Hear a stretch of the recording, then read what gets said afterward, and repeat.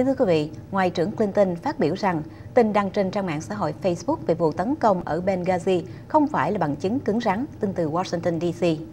Bộ trưởng Bộ Ngoại giao Hoa Kỳ bà Hillary Clinton nói rằng trong ngày 24 tháng 10, sự tuyên bố chịu trách nhiệm của nhóm khủng bố Hồi giáo về vụ tấn công Đại sứ quán Hoa Kỳ ở Benghazi, Libya mấy tiếng đồng hồ sau khi vụ việc xảy ra không thể được cho là bằng chứng cứng rắn. Trong một buổi họp báo với Bộ trưởng Bộ Ngoại giao Ba Tây, Ngoại trưởng Clinton đã phát biểu rằng đăng một tin tức gì đó trên trang mạng Facebook không thể cho là bằng chứng rõ rệt. Công ty truyền thông Reuters báo cáo trong ngày 23 tháng 10 năm 2012 rằng một điện thư chính thức đã cho thấy quan chức tại Tòa Bạch Ốc và tại Bộ Ngoại giao Hoa Kỳ đã được báo cáo một nhóm khủng bố Hồi giáo tuyên bố chịu trách nhiệm 2 tiếng đồng hồ sau khi kẻ tấn công xâm nhập Đại sứ quán Hoa Kỳ trong ngày 11 tháng 9 năm 2012.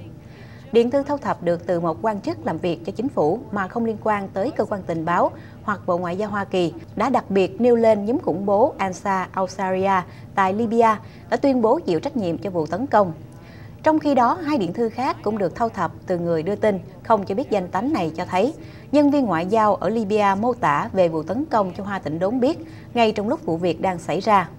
Ngoại trưởng Clinton trả lời Ngoại trưởng Clinton trả lời một phóng viên rằng Hội đồng xem xét ai chịu trách nhiệm về vụ tấn công đang tích cực làm việc để có thể xem xét hết mọi thứ, chứ không chỉ một văn kiện này hoặc văn kiện nọ vì sự phức tạp của vụ việc. Bà hứa rằng sẽ tìm ra đầu đuôi và sẽ làm những biện pháp cần thiết để sửa chữa những gì cần sửa chữa và sẽ đem những kẻ chịu trách nhiệm ra trước công lý.